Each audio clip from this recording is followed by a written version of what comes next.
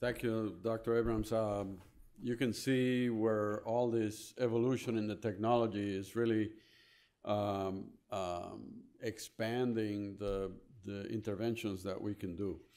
Um, this next presentation is a little bit out of order. I had to accommodate uh, uh, Dr. Sheeman because he had to leave uh, uh, in the afternoon. So we're going to go back to the uh, um, to the uh, uh, treatment of uh, endoleaks, either in the um, thoracic or um, infrarenal endovascular repair. So basically, what we like to see when we do uh, an endovascular uh, intervention is to see thrombosis of the aneurysm around the endograft and hopefully shrinkage uh, of the aorta uh, around the, uh, the repair. Now, this occurs in about 60% of the, of the cases. In about 30, 35% of cases, the aneurysm stays the same. But in about 5% of cases, the aneurysm is going to is gonna enlarge. And basically, uh, the most common cause of aneurysm enlargement uh, is to have an endoleak, and the endoleaks have been classified as type 1 when it's either proximal, type 1A, or distal, type 1B. Uh, type 2 is usually a branch flow where you have uh, flow between two branches of the aorta, most often a lumbar and the inferior mesenteric. And then type 3 is usually uh, leakage around the junction or through the, uh, uh, through the graft. Uh, type 4 is usually a graft defect that is allowing extravasation of either serum or uh, blood. And then type 5 is the endotension that uh, Dr. Schutter mentioned that we uh, really don't understand. In some cases, we do know what has caused it, but in other cases, we haven't. Um, usually, uh, uh, what we do to follow up these patients is to get a CT scan. In our, in our institution, we, once we get a patient without an endoleak and an aneurysm that's stable, uh, we tend to follow them with ultrasounds with duplex scan.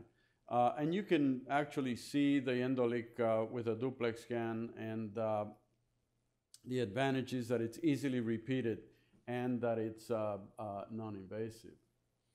So here's a patient that on completion, uh, you can see a type 1 endoleak. you can see the endoleak right here. basically, this is a situation where immediately after deployment of the endograft, you see an, a type 1 endoleak, and this needs to be treated. So I like to do what I call the balloon test. Basically, you inflate the balloon and you see if you were to able to oppose the, the graft better to the aorta, uh, if you el eliminate the, uh, the type 1 endoleak.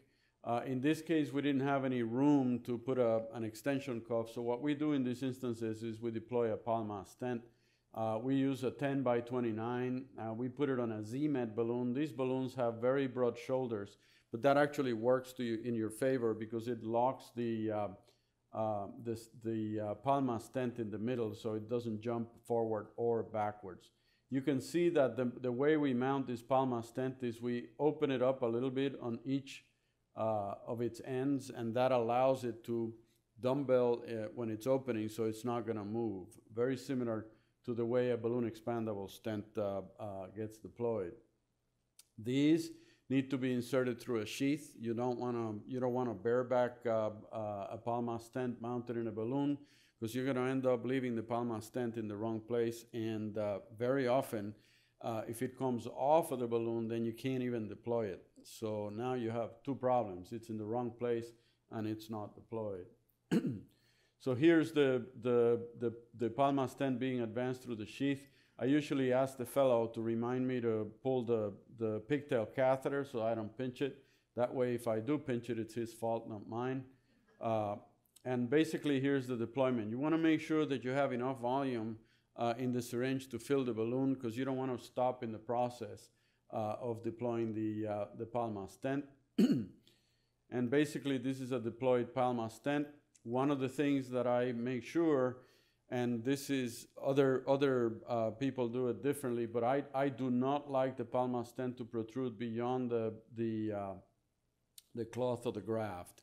I think that's a a, um, a it, you run the risk of rupturing um, uh, the aorta. So therefore, I keep the Palmaz stent within the uh, covered uh, portion of the graft. You can see here that the endoleak has uh, has been resolved. And uh, you can see here the follow-up on this, uh, on this particular patient where the, um, there's complete thrombosis of, uh, of the aneurysm. So here's what happens when you put the Palmaz stent outside of the, um, outside of the cloth. If you, uh, if you see this, you leave the balloon up and now you got to convert. So it is not risk-free to uh, put a Palmaz stent. This is not my case, by the way, um, but, uh, but it's something that can happen and, and that you need to avoid overinflation. And if it happens, you want to inflate the balloon and then decide what to do. So here's a case where we do a completion angiogram. This is a patient that has both a suprarenal aneurysm and an infrarenal aneurysm, old patient, 90 years old.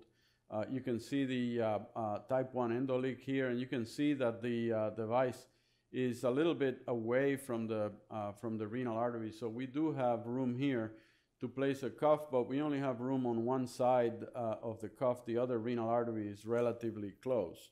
So what we uh, did in this particular case is use what we call the bent wire technique, where we put a bend in the wire and then you rotate the wire and you can see how the cuff is now oriented to purchase more aorta on this side than on this side.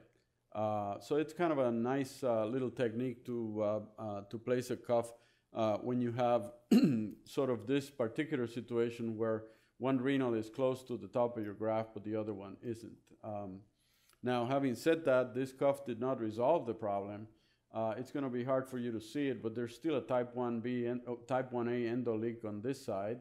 Um, so what we did in this particular case is we actually accessed the the sac uh, outside of the, uh, of the device uh, between the iliac and the artery, and then we injected a slurry of thrombin, um, thrombin and Gelfoam and basically induced thrombosis of the graft. You can see now that on the repeat uh, uh, angiogram, the, uh, the injected thrombin and, and, Gelfoam is staying, is staying in the sac. we do add some contrast to the slurry. And uh, what that allows us to do is to see it as, uh, as we inject it. This is the follow-up suprarenal aneurysm, and then the infrarenal component is now, uh, uh is now thrombosed uh, after the cuff and inducing uh, the abdominal aortic aneurysm thrombosis. So this is, could you play that video, please?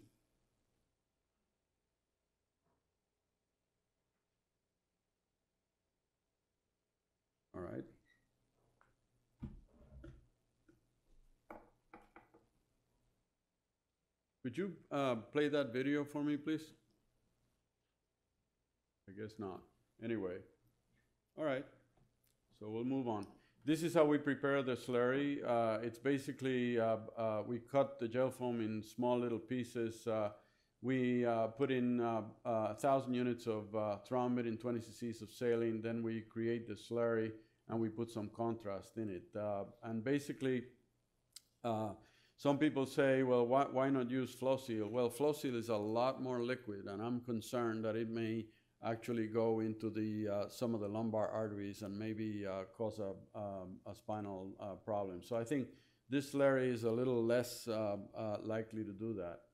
So this is uh, one case where we used this technique and it didn't resolve, ended up in a conversion. You can see that basically what we were dealing with is a, is a holes in the in the graft with a kind of a sprinkler, uh, and uh, there's no there's no induced thrombosis that's going to resolve that. Um, so when you get this kind of a, a sprinkler issue, uh, the management really is to line the graft with a second less porous endograft or surgical uh, convention uh, conversion. Um, this used to happen with the excluder uh, before 2004. So if you see a patient that had an excluder endograft placed be- before 2004 and has a, an enlarging aneurysm, but no evidence of endo leak. Uh, that is uh, seepage of serum uh, through the original uh, uh, device. This, that was corrected in 2004.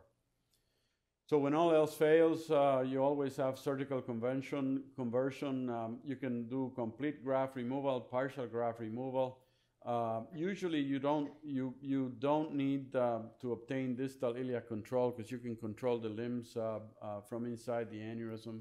And I'll just show you uh, a little trick that we have learned in some of these conversions. That, that is, you really don't need to expose the suprarenal aorta you can actually puncture the, the graft uh, uh, and put in a uh, aortic occlusion balloon.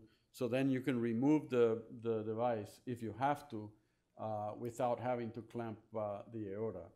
Uh, some, some will say, well, why not put this through the femoral? Well, be, because then you would have to heparinize the patient and you still have to do the, the exposure of the aneurysm. So basically, what you can see here is we're removing the device. We have a, a control of the suprarenal aorta and you can see the device here being removed. Now, one uh, word of caution, you can see the balloon here being removed and then the aorta is cross-clamped as you would do in a standard repair. One word of caution is with suprarenal uh, fixation, uh, removing the, the, the, the, entire graft can bring uh, the, uh, uh, some of the intima with the renal orifice. I did not charge for the renal endarterectomy in this case, I assure you that. Um, but it's uh, uh, pretty uh, scary to see that and not know what's happening with the renal artery. Uh, so since we had this experience, nothing happened. The patient did okay. But since that experience, what I have uh, suggested doing is actually you don't have to remove that portion of the graft. You can actually control it with a clamp, uh, cut the graft with wire cutters, and then sew the graft together with the piece of endograft that you're dealing, leaving there uh, to a standard surgical graft. So it's, uh, it's a way of avoiding uh, doing this blind endarterectomy uh, of the uh, perirenal aorta. So now when we look at uh, endovascular repair in the thoracic aorta, the classification is the same. 1A is the proximal seal zone, 1B the distal seal zone, intercostal flow, endograft junction, and endograft leak. Um, you treat one, three, and four. The, the tools usually you can follow, and in the, uh, in the thoracic aorta, for some reason, it is very rare to see any type of uh, aneurysm enlargement from a type 2 endoleak. Um,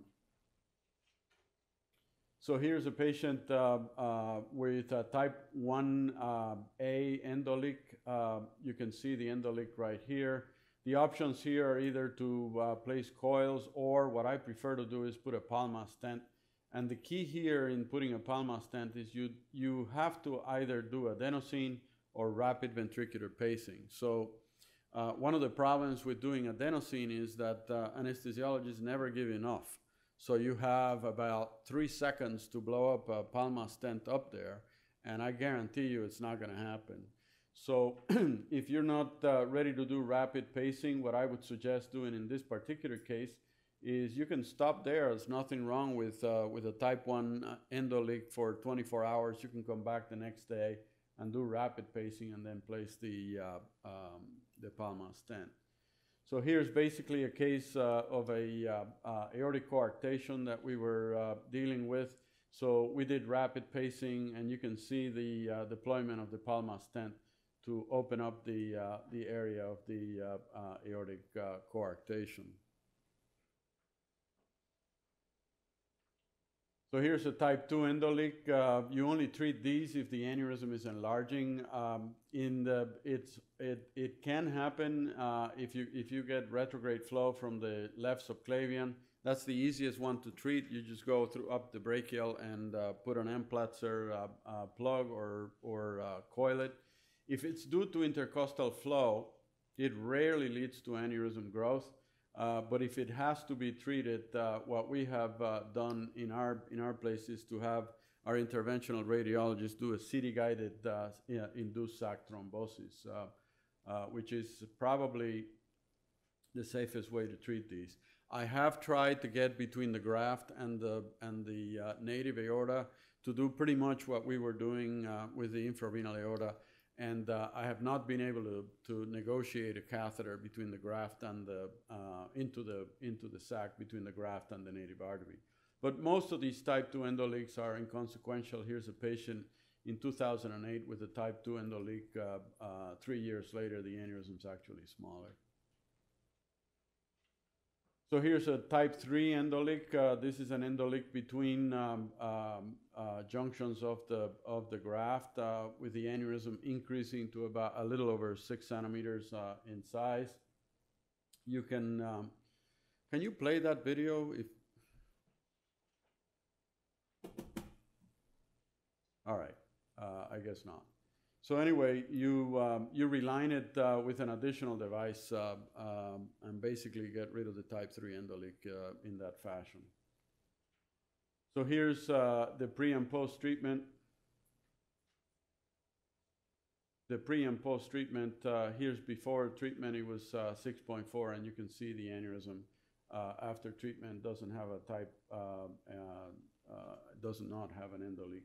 Here's an endoleak that is difficult to tell exactly uh, what's, uh, what's going on. This is a patient of mine, and it, it, uh, you learn lessons from when, when things don't go uh, exactly as you intend. Uh, this is a, this is a uh, device that was placed. If you look here, this device should have, this particular device should have been either below that curve or committed to the curve. But the, the distal device is actually pushing the more proximal device up, and that's what's causing the endoleak. Uh, so we, we were able to extend this device, but I could not get it to, um, to flare down. So this is a, this is a, a misdeployment, and it's something to be avoided. You either commit around the, the curve or you deploy it distal uh, uh, to, the, to the inner curve of the, uh, of the aorta. So in summary, management of endoleaks after endovascular uh, aortic repair, types 1, 3, and 4 at implantation or follow-up should be treated. Type 2 endoleaks can be observed as long as the aneurysm does not show growth. If it shows growth, the conventional uh, uh, wisdom is to go ahead and treat them. I think being familiar with the alternatives to manage these endoleaks is essential, not only during follow-up, but also during the implantation in these particular patients. Uh, and uh, follow-up after TEVAR and EVAR is absolutely mandatory. If you look at the patients that develop rupture during follow-up, um, probably about 80% of those cases are patients that are lost to follow-up. They don't follow up after the, uh, the repair, and then they show up in the emergency room um, uh, with a rupture. So I think uh, this concludes this portion of the program. I really thank you for, uh, for your attention. I uh, don't think we're going to have time for the, uh, for the panel discussion. Um, I want to remind you that uh, for the physicians uh, in the group, uh, we're going to have simulation uh, in the CASIT, which is just around the corner after lunch. And for the allied health personnel, nurses, nurse practitioners, physicians assistants, we're going to have breakout sessions, and I believe they're right here in the, in the auditorium. Thank you very much for your attention.